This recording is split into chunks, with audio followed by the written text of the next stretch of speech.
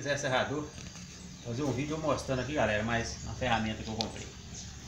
Comprei dois discos de serra para mim trabalhar aqui na tupi. Eu comprei dois com a mesma medida que é para mim trabalhar com eles aqui na tupi galera para fazer espiga naquelas peças de cadeira.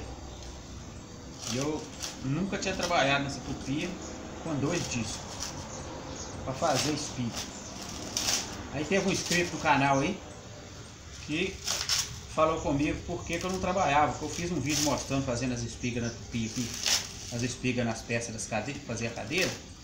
Aí eu tinha que passar madeira duas vezes.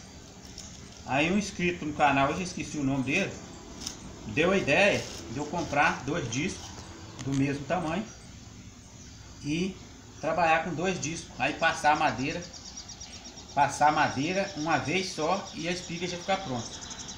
Então galera, comprei dois discos do mesmo diâmetro. Comprei dois discos do mesmo diâmetro. A marca Indifema, que é uma marca muito conhecida aí no Brasil. Eu gosto de comprar ferramentas só de qualidade boa. Broca, as brocas que eu compro por furador, gosto de comprar tudo da Indifema. Aí galera, ó.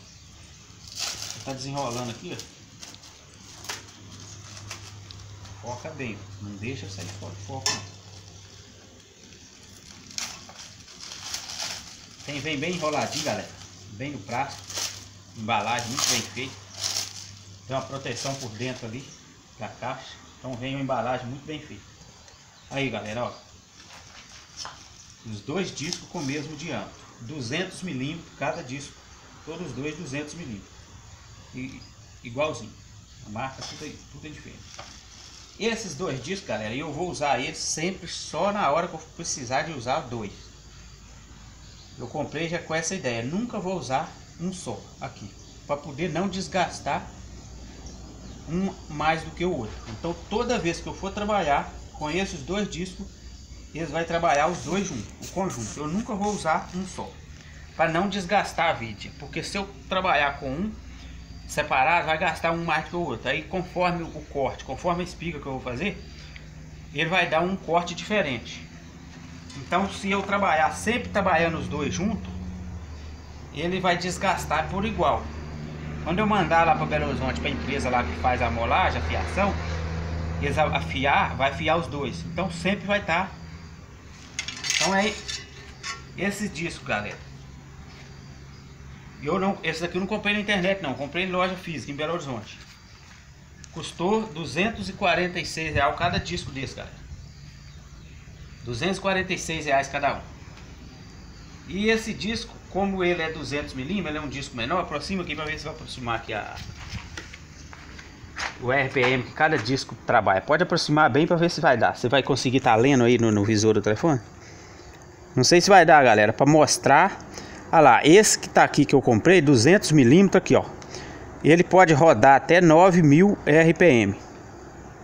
Aqui tá escrito vários discos que a Indifema fabrica, até 500 milímetros tá escrito.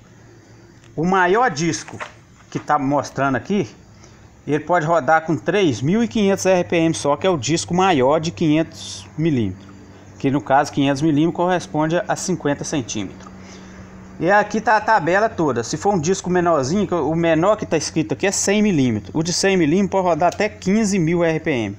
Eu estou falando o que pode rodar com mais RPM e o que menos. O de 100 roda com 15.000 RPM. E esse que eu comprei que é 200mm, ele pode rodar até 9.000 RPM. E o, o, maior de todos que está escrito aqui na tabela, que é o de 500mm, ele pode rodar só com 3.500 RPM. Então cada tamanho de disco ele pode rodar com uma velocidade diferente. Então é isso aí galera, tá mostrado aí. Tá apresentado aí os dois discos aí pra galera. Já falei o preço, já falei a marca. Então é isso aí. Peça a galera aí que, que compartilha, comenta, dá o like. É isso aí. Um abraço aí pro Zé Serrador, galera.